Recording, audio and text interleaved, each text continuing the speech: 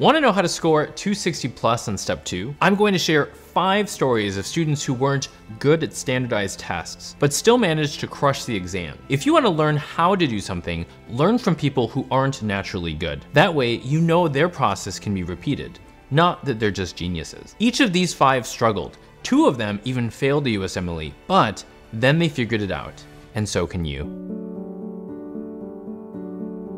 Our first story is a student that I'll call Commitment. I'm changing their names obviously because some of these students have actually failed their exams, as I mentioned. In order to be able to tell their stories fully, I'm not gonna use their real names. Commitment was in many ways a typical Caribbean medical student. He was someone who hadn't necessarily done great in undergrad and didn't have like really, really high scores, but was hardworking and was resilient and so ended up in one of the Caribbean medical schools. I started working with him when he was starting his clerkships and he had struggled up until that point. He'd failed one of his preclinical exams, so he had actually been at risk of getting kicked out of school, and he needed extra time to prepare for step one, which was overall a pretty disappointing experience for him. So he knew that he had to change some things because he wasn't really on a trajectory to stand out in the way that he wanted to as a Caribbean medical student. When he first entered clerkships, it actually continued to be a struggle. In medical education, there is these concepts of service versus learning, right? And when you're on the wards, there is a degree that you just have to get stuff done, which is the service part, and then there is the education part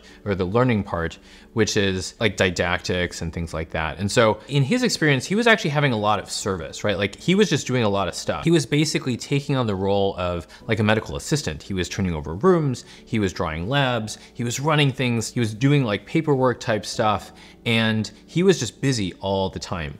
In addition to that, his attending had these expectations of presentations that he would give. And so he didn't really have a lot of time. But what he did have was a lot of excuses.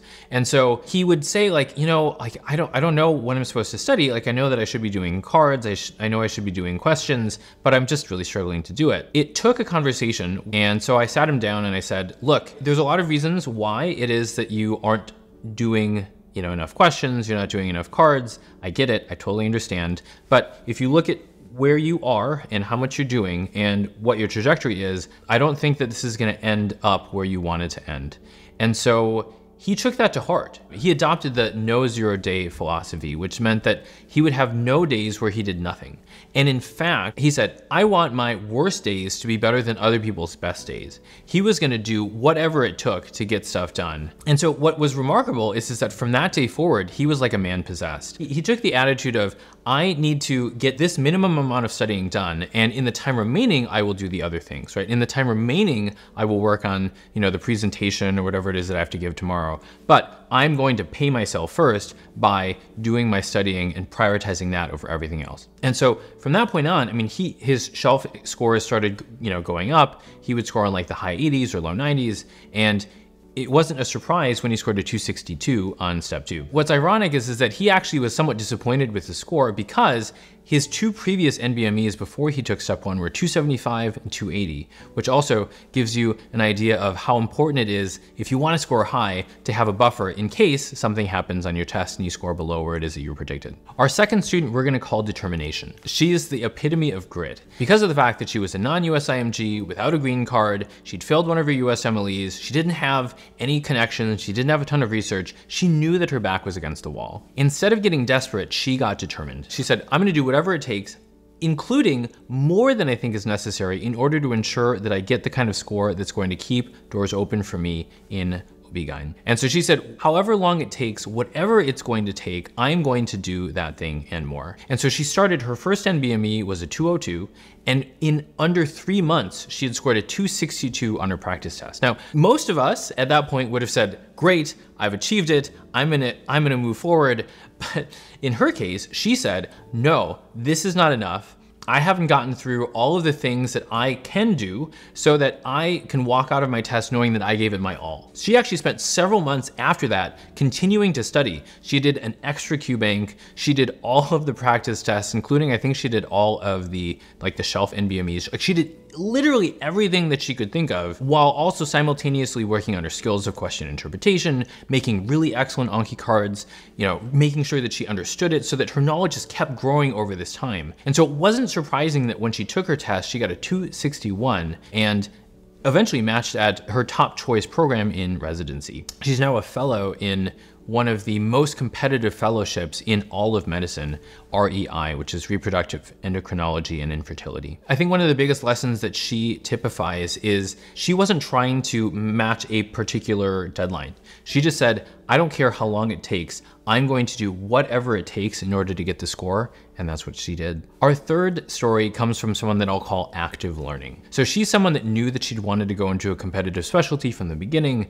dermatology. She's the only student on this list that I felt comfortable talking about that I hadn't tutored one-on-one. -on -one. And the reason why I feel comfortable talking about her story is, is because I still remember her so well from the course that she was in. She'd started in our course probably two years before she ended up taking her test. And I remember that she was just always actively participating. She was doing things like asking questions and checking to, you know, to make sure that her cards were good. And she was always clarifying things, doing things that frankly all of us could be doing, but are oftentimes uncomfortable. In many ways, it actually reminded me of when I was starting out in medical school, I had asked myself the question, what is it that I could do such that I can maximize every single learning opportunity that I have in front of me? When I went to class, I would commit to asking questions of the lecturers either during the lecture or more often, I would save up my questions and ask them after the lecture was finished. Doing this did a couple things for me. One is since I knew that I was going to ask them a question afterwards, I had to pay attention better because I didn't want to look like an idiot who would go up and have to ask a question but have it be like this really poorly formed question. Two is it gave me a lot of extra opportunities to find further information. I think some of the most interesting connections and interesting concepts that I learned in medical school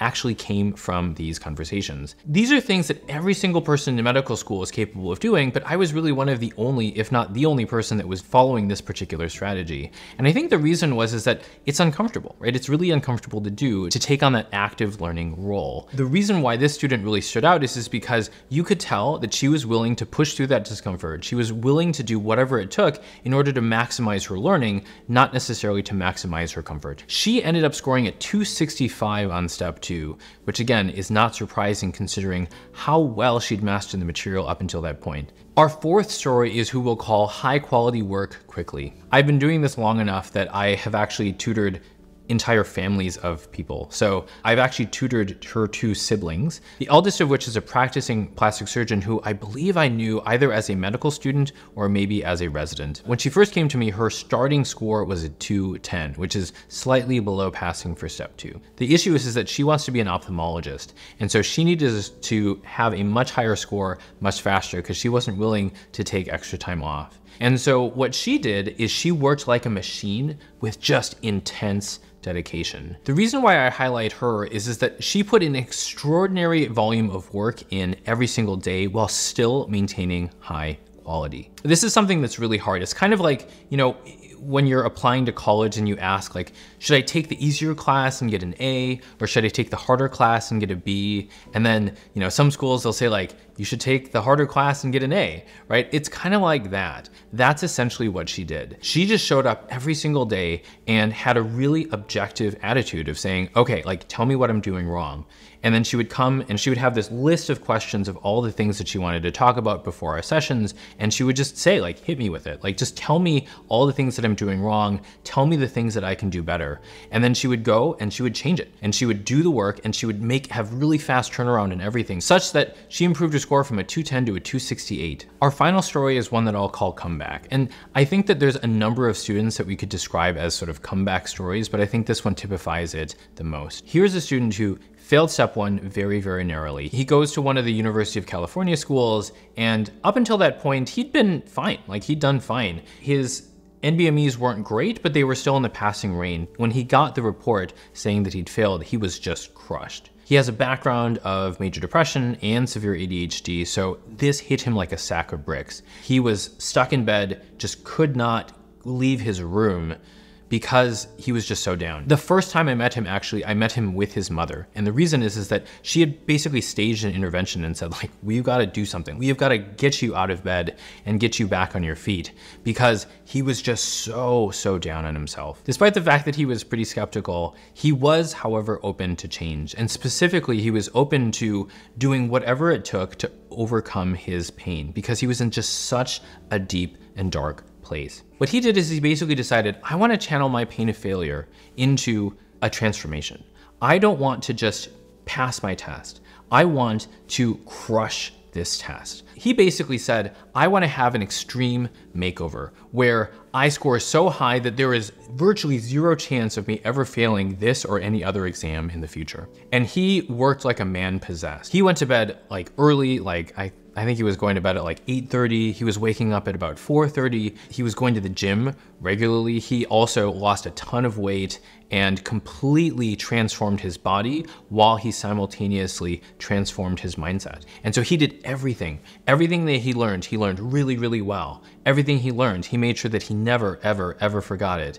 And he had that same attitude of, okay, like tell me what it is that I'm doing wrong. Tell me all the ways that I can improve that all of the other people ultimately had. The reason I highlight this story is, is that he went from failing step one, which is the bottom 3% of test takers, to a 262 on his step one practice test, which would be in the top 3% of test takers. He then went on to do substantially better on step two. He was even scoring some of his practice tests 270s. So when he ultimately got his score, he was so relieved. The reason I want to highlight this story is, is because there's a lot of students that we work with who see these tests, like if you fail one of these tests, it's like a sign of your inadequacy, right? It's like, oh my gosh, I've always worried that I'm not good enough. And so now here is this external sign that I'm not good enough. And it's a really, really crushing blow because I, think it's easy to conflate our self-worth in medical education with these exam scores. And so this is what happened to this person. What I've learned from this and, and similar experiences is, is that profound personal change requires either desperation or inspiration. If we think really deeply about the times that we've really changed in our lives, yeah, sometimes they were probably from inspiration, but most of the time they came from pain because pain is the catalyst that can push us outside of our comfort zone where we're willing to do things in order to move beyond that pain because the situation that we're in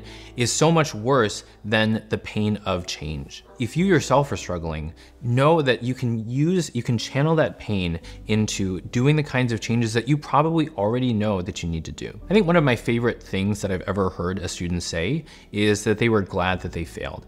And obviously I don't want students to fail, but the reason why they said that was is that failing gave them the opportunity to make changes that they knew deep down they always needed to make. Many of these stories um, I think highlight just how powerful your pain can be as an opportunity for growth. So the five themes that we've talked about are commitment, determination, active learning, high quality work quickly, and transforming failure. What do you notice about these themes? For me, what all of these people did was open to all of us. These are all choices that we all can make or not make every single minute of every single day. With the right mindset and strategies, extraordinary results are possible.